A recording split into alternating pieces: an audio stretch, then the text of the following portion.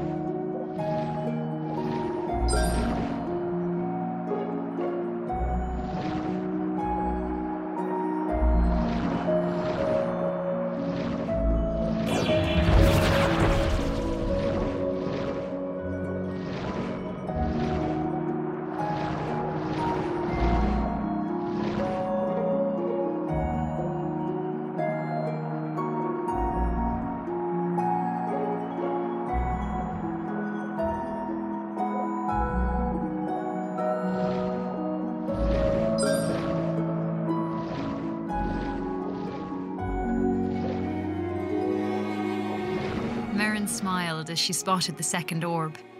She felt closer than ever to finding her father.